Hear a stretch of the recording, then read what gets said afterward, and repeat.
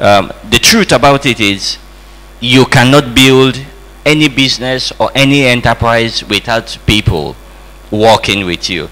You can build something and you are alone doing it. But the question, like I said yesterday, is the day you are sick or the day you go to the hospital, your business is going with you to the hospital.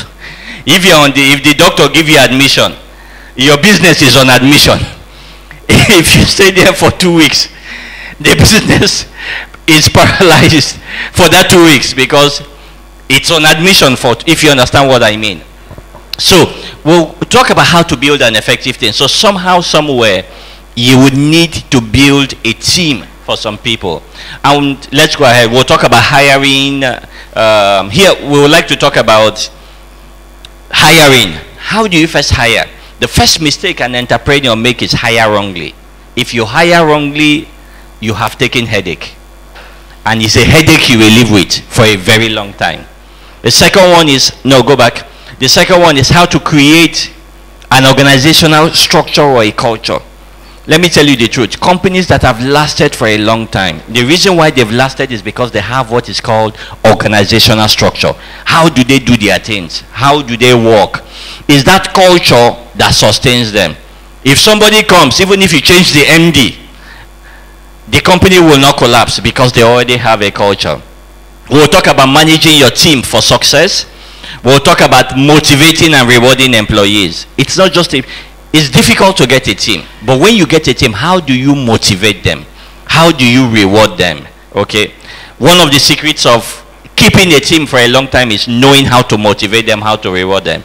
We'll talk about coaching and development. We'll talk about tackling performance appraisals.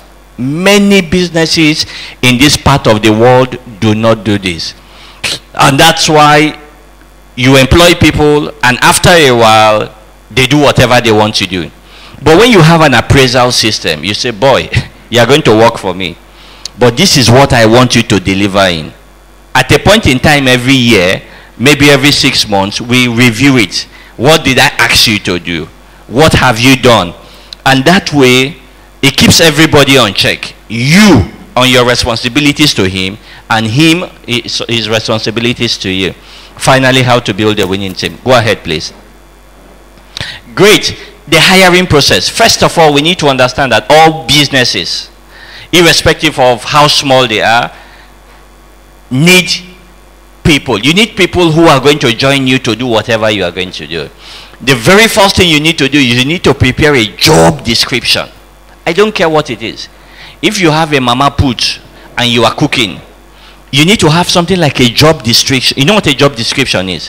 What the cook will, before ever you apply for the person. So that as you are interviewing the person, you tell the person, this is what I want you to do. You understand me? Then at the end, you can add and other duties that can be given to you from time to time. the second one you do is specifying the required qualification and experience level. The reason is because you have many people. They don't have the experience level, but they want the experience salary. Do you understand what I mean? So you need to be able to say, this is what we want in terms of the qualification. And this is what, if you want an OND, you stated this is an OND who has had five years experience in this state. It is stated right there. And the person coming in, the person may say, okay, there is no job in Nigeria. and I have a BSc. But I want to do this OND work. And I think I can do it. You are under no compulsion to pay a BSc salary.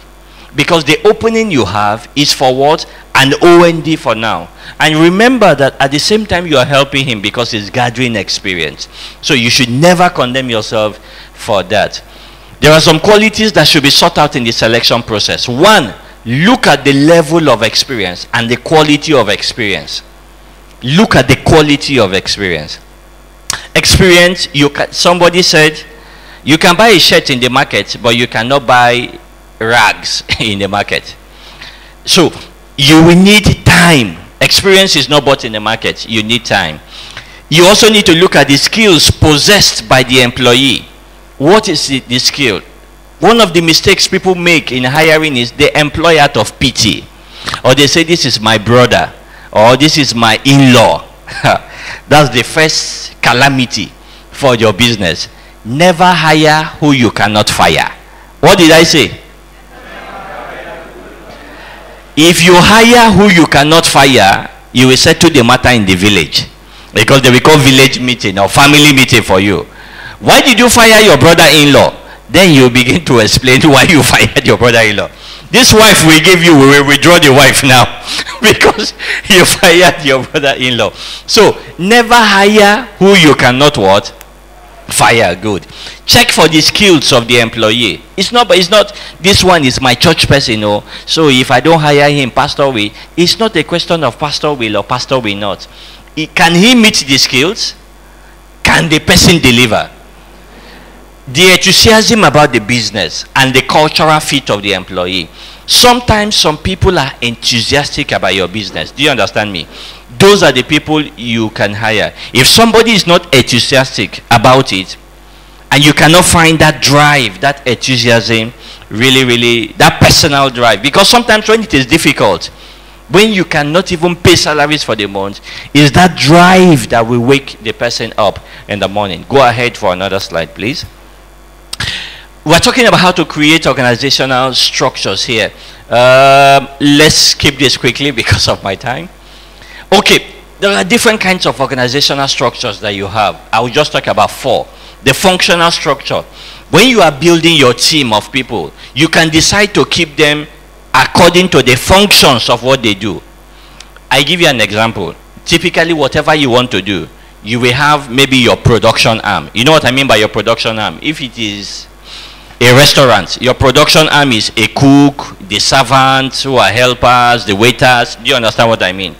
But you may also need somebody who will help you with your accounts. You understand? Because maybe you do not know how to balance, you don't know uh, double balancing uh, system, you don't know who bought on credit.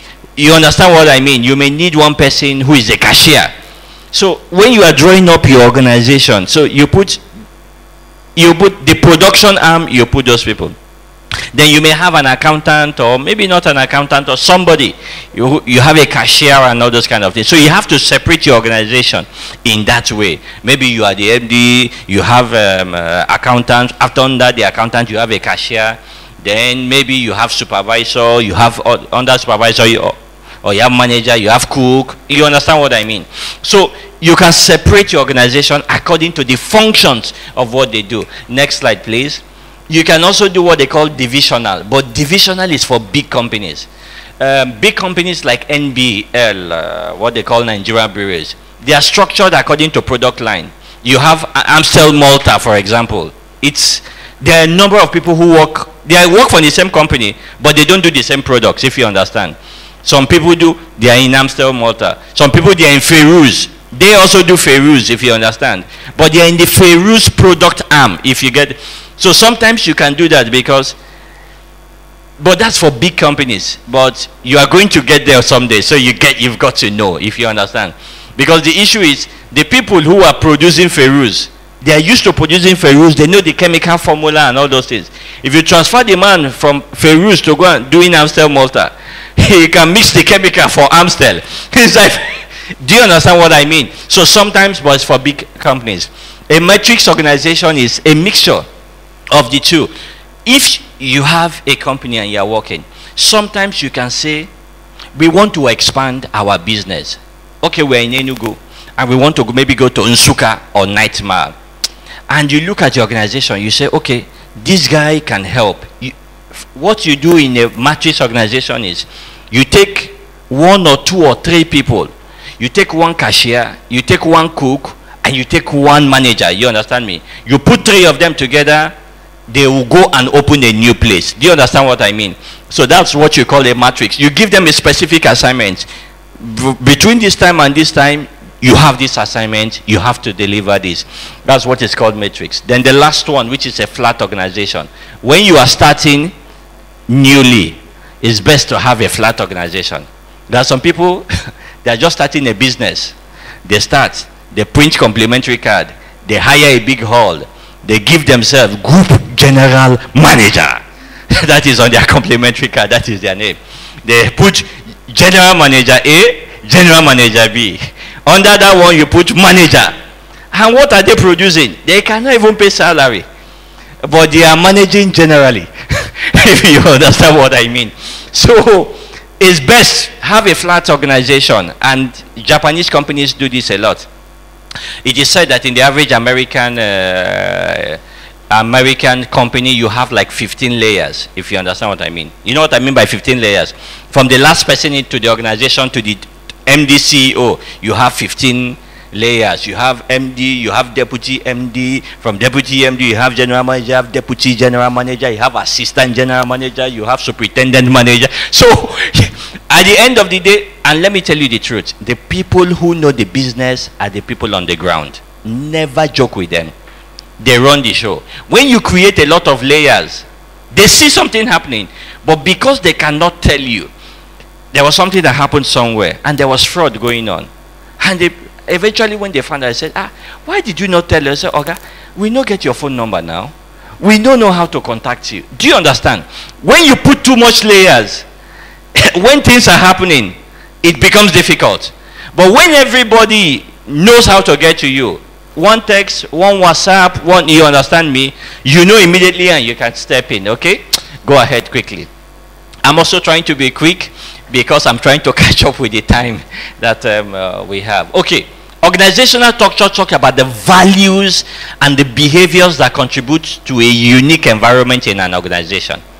There are values in some organizations. There are behaviors.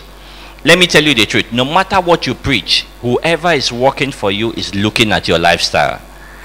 You can't tell people to come early and you come late. They will not. Will say, ah, God, they come by 9 o'clock or 10 now. Me, I will come by 15 minutes to 9 and you come by 9 you think they came by by if their resumption time is 8 o'clock they will come. So whatever and that's why you hear people say ah, i want to be an entrepreneur so that i will rest.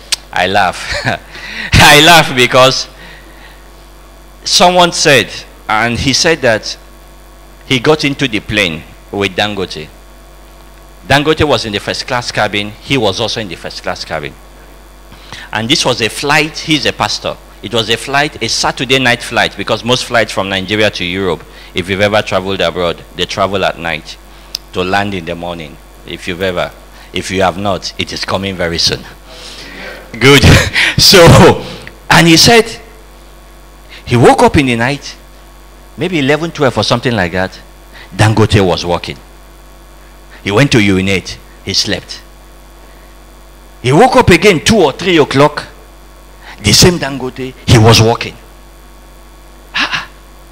5 a.m. in the morning, he woke up, he has got to urinate three times.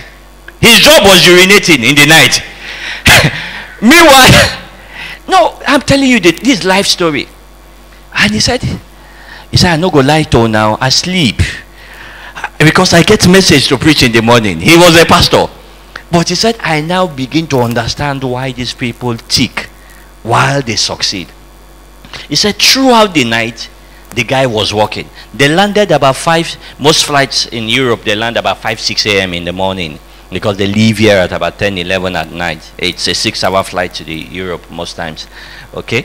And eventually, he started thinking, do you think you who is sleeping away your destiny and a man who is working it out at night, two of you when you meet, enter the, we'll talk about competition in the marketplace.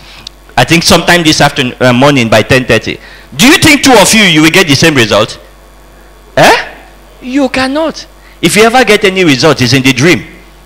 And maybe it's a result to go and urinate another time inside the dream. if you understand what I mean. So, quite sincerely, you, and it is that culture you build in your organization. People working for you, they take it. Do you understand it? They learn from it. It may be hard for them at the beginning. But when they learn that culture, it helps them to go ahead. Please, please, it's taking you so much to build that organization. Set a culture in it. So that people, when they come, it's easy to toe the line. The truth about it is, do you know what happened in Genesis chapter 11? The God had to step in to scatter the culture of the people. He says the people they are one and they do have what? One language. They reason alike, they talk alike. And the Bible says God had to come down and do what? Scattered because organizational culture is powerful if you know how to harness it. But to harness it, you've got to build it. See, I don't know whether you heard about NASA. Remember when they put the first man in the moon? Something happened. You know NASA now? How many of you know NASA? This National State uh, Special Agency in the US. You know, I think it was in 1969, John F. Kennedy, the President of America, in 1960 or so, set a target. He said, before the close of this decade, America is going to land a man in the moon. And he created an organizational culture so that when some people came into that organization and they saw a cleaner, they said, ah, ah, cleaner, do you work here? He said, yes. I'm mopping the floor here. And they asked him, ah, ah, so what are you doing here? He says, I am helping to put a man on the moon. A cleaner is helping to put a man where? On the moon. The vision of the company is already, he's cleaning. But he's cleaning because his cleaning will help. And really, you can only get the best when people have a vision, when they have a mission. That's when you can tap the resources of the strengths of people. Everybody likes to do something that is bigger than himself. Everybody likes to achieve something that is greater than himself. Everybody likes the fact that when he does something, his name is there. And even when he's out of here, people come in who work in that organization. That's why giving of plaques or giving of awards to your staff, it has a very, very big impact. Because even if the person is no longer working there, the children can grow up and say, Daddy, they gave you this thing. What happened? He says, It is when I did this and it's when I did this. And you can transmit that value into the life of the children. That hard work. So it speaks beyond them. So you have to create things to consider in building a robust structure. Innovation and risk taking. The first speaker talked about this. And this is the degree to which your employees are encouraged to be innovative and take risk. We live in a culture which is good. We respect our elders. But there is something about it. If you are going to be innovative, sometimes you need to cut tradition, if you understand what I mean. Sometimes you need to do think outside the box. And, and when your